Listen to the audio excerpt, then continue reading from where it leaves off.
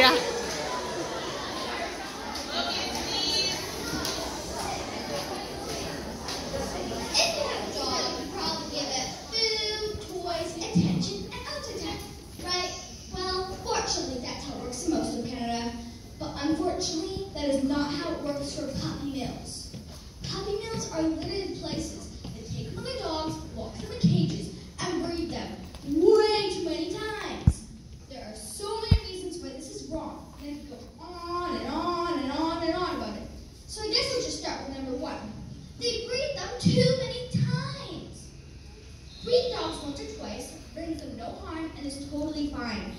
But taking stray dogs, not even helping them, then breeding them like six times is not acceptable. In fact, puppies that are born from unhealthy mothers are actually more likely to have medical problems or are very sick at birth. This also affects the mother's health. This is not good, and to make it even worse, they just sell those puppies, which are very rarely healthy. They do this because the people breeding the dogs do not even take care of the dogs. So all they care about is the money they earn from selling the dogs. So when someone does not adopt a puppy, they will hurt that puppy or separate it from its mother and dump it in the streets. This brings me to point number two. Too many puppies. I personally love dogs. I even have one. But for places like puppy mills, that is not the case.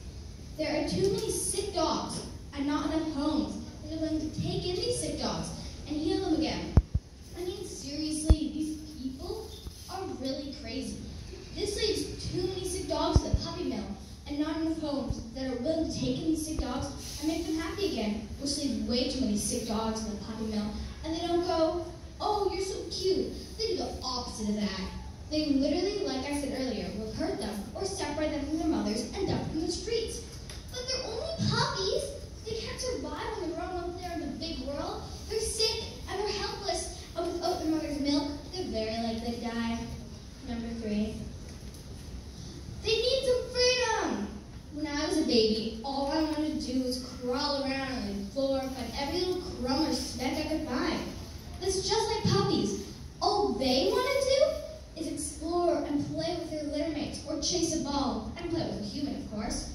But the puppy mill does not let them.